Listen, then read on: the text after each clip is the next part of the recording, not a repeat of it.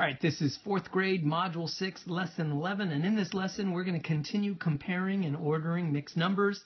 But this is there's going to be a little twist because those numbers are not always going to be in standard form. We're going to have some fractions, we're going to have some decimals, we're going to have some improper fractions. It's really going to uh, assess in this lesson whether your students really have that fluency, that flexibility with the way to think about numbers. So let's get started.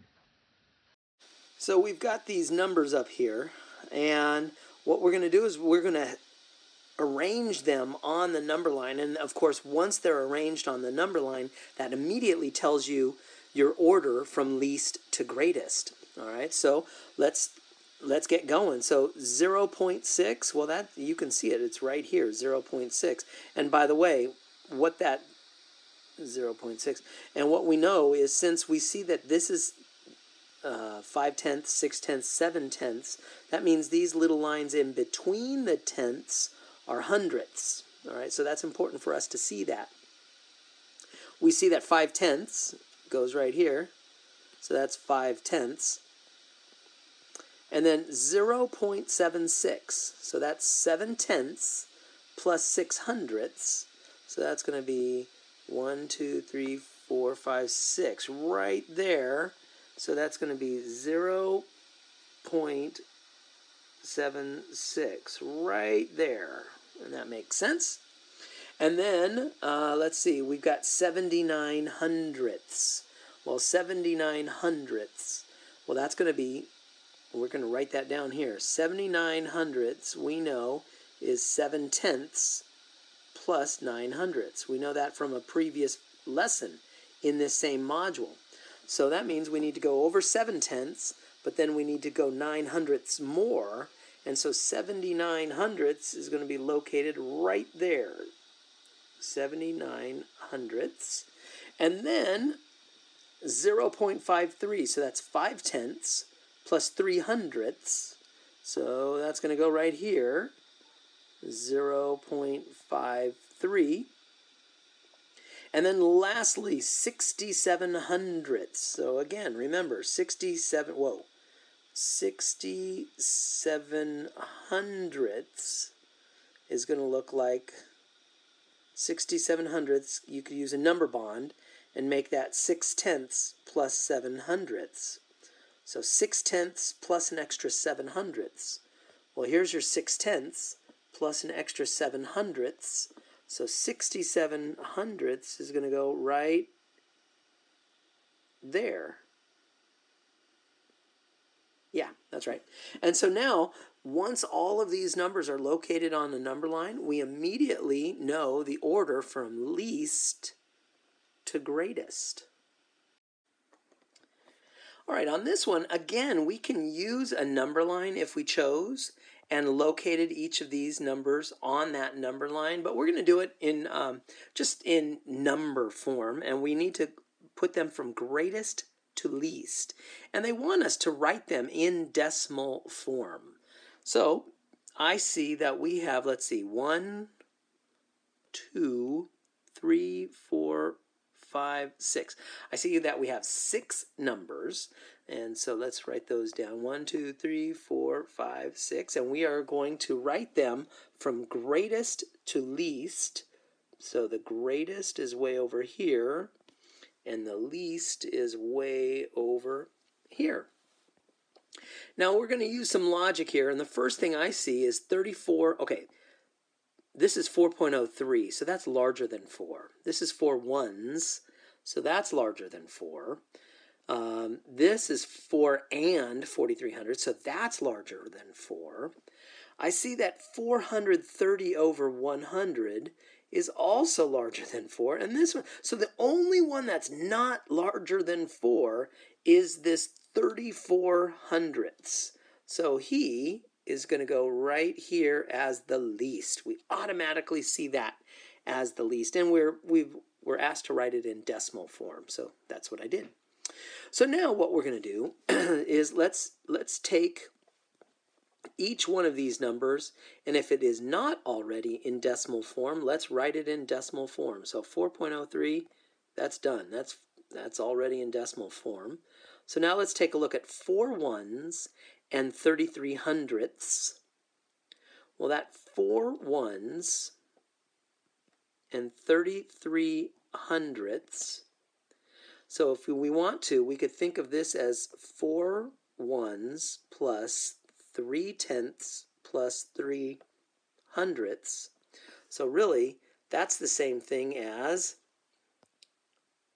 that's the same thing as 4.33. All right. So we now have another decimal form. And so this guy we don't really need anymore. So I'm going to kind of put him up here to remind us where he came from, right there. And then the next one, 4 and 43 hundredths. That's straightforward. That is 4 and 43 hundredths. So that's pretty straightforward. And then the next one is 430 hundredths. All right, so that, that's worth writing down here. So 430 hundredths. Well, we can do a little decomposition. We can call that 400 over 100 plus 30 over 100. And isn't it fair to say that 400 over 100 is equal to 4? Plus, and isn't it fair to say that 30 over 100 is 3 over 10? And so that immediately tells us that's 4.3. So that means we can write that over here. 4 point, whoa, where's my pen? 4.3. And so we've got all these decimals showing up over here. And so I'm going to shrink this guy to get him out of the way. And then the last one is already a decimal. That's 4.31. So I'm going to write that. Oh, let's put it right here 4.31. And so now we can look at these numbers and we see that they're all tied for the whole numbers. We see that this is the only one with the 4 in the tenths place. So this is our greatest of the ones that we have. And so now we can look, and again, they're still all tied in the ones place. They all, well, this guy doesn't have any uh, tenths. Everything else has three tenths. So that immediately tells us that this guy is one of the least of the remaining ones. So he could go over there. So now we've got these last ones here, and we can see that they all have four in the ones place. They all have three in the tenths place. Uh, but this guy has nothing in the hundredths place. This has three and this has one. So that immediately tells us that this guy is the least followed by this guy, and this guy was the most of those final three. And we now have sorted them from greatest to least. And the last problem is uh, Matt's airplane flew 9.14 meters. And then Jenna's airplane flew 9 and 4 tenths meters. And then Ben's airplane flew 904 over 100 meters. And Leah's airplane flew 9.1 meters. All right, so whose airplane flew the furthest?